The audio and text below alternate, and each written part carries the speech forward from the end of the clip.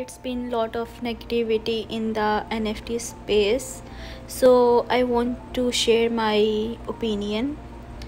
We all know that nfts are like kind of gambling or kind of lottery. Not all nft projects will be 100% successful. Only 1 or 2% nft projects will be successful in the future and most of the nft projects will be gone.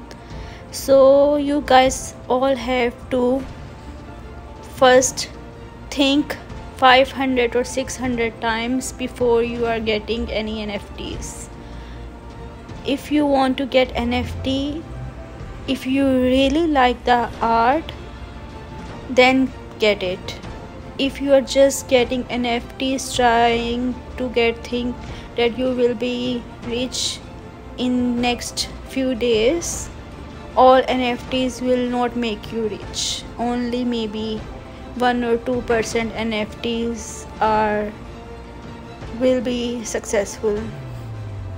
So don't think that all nfts will make you rich. It's kind of gambling so you guys know where you are putting your money.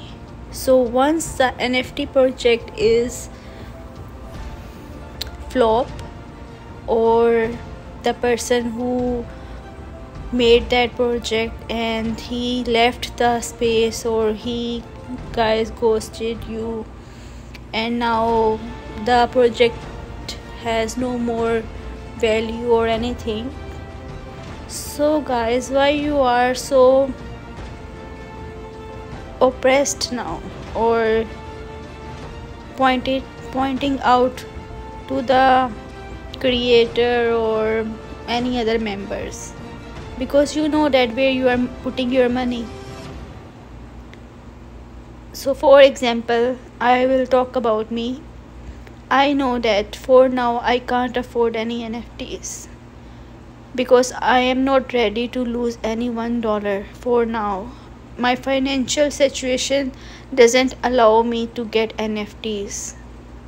I can support the creator, I will like their videos, I will comment on them, but I know I cannot afford to lose any money. I cannot play gambling